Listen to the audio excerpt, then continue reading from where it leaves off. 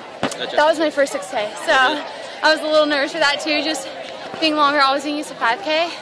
And um, I just kind of tried to have the same mentality as a 5K and not try to think of it as anything different.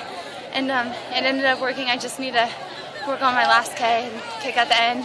So what's your final goal, I guess, for the remainder of the season? Conference finals are next for us, then regionals, hopefully nationals. Okay, sounds good. Thank you. Thank you. Laura, hi, I'm Adam Mertz from the Wisconsin State Journal here in town. Congratulations. Thank you. Um, and I missed the back end over here. Did things get a little bit tighter there for a stretch, or were you able to maintain the, whole, the distance the whole time? Very end? Not toward the very end, but back on the uh, on the home stretch over there. To be honest, I don't really know because um, even when people yell at distance, I don't really know how much that means. Right. And um, I never looked back during the race, and I don't know how close it was in the last few Ks. All I know is at the end, I could kind of get the idea that she was coming in and just try to give it everything I had.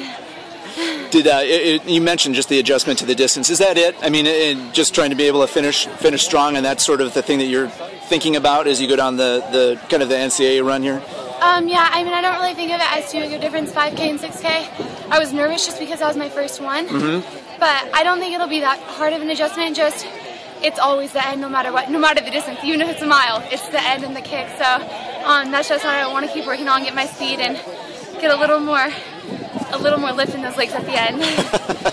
Did, did, was it your plan to come out that strong right from the start? Honestly, um, no, because my coaches wanted me to run this one a little more conserved in the beginning, instead of just going out and knowing that I'd have people to run with. Right. And um, I'm a freshman, so I really, every race I have no idea where I'm going to stand with people.